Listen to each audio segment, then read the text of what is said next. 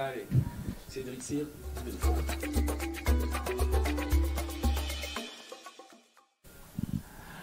Bienvenue, ravi d'accueillir euh, un homme du Sud.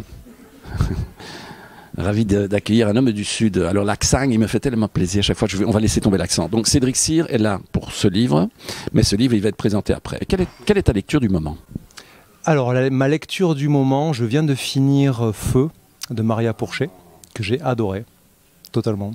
De littérature euh, blanche, rien à voir avec ce que je fais moi, mais hypnotique. Hein, ah, génial, ça me suffit. Génial, merci, merci.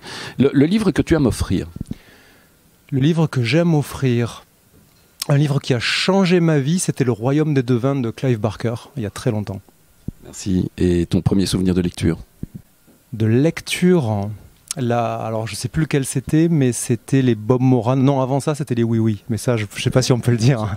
mais les Bob Moran, euh, c'était les vrais, vrais souvenirs de lecture. je vais te dire, comme personne nous entend, hier, j'avais le président Hollande et je me dis François, quel est votre premier souvenir de lecture? Alors il a regardé tout le monde et dit Enid Bitton, vous connaissez Oui Oui?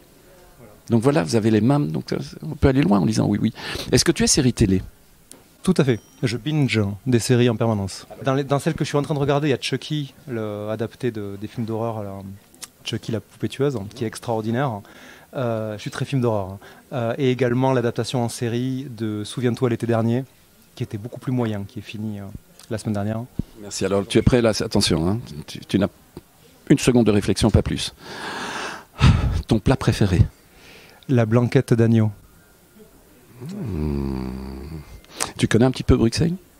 Pas tant que ça. Un lieu de prédilection, un lieu non, à conseiller? Réellement, je ne connais pas. Alors les, frontières rouvrent, tu peux prendre l'avion. Le premier pays que tu veux visiter? Où je suis jamais allé, le Tibet, par exemple. Parfait. Et la dernière, elle est simple.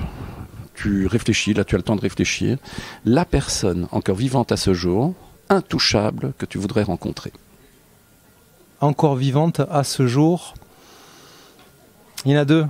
J'ai droit à deux ou pas? Ce serait pour en plus pour la même raison, ce serait Stephen King et Clive Barker pour exactement la même raison. Euh, voilà. Eh bien, merci beaucoup Cédric Cyr ou dois-je dire Cyr Cédric et longue vie, longue vie à la saignée.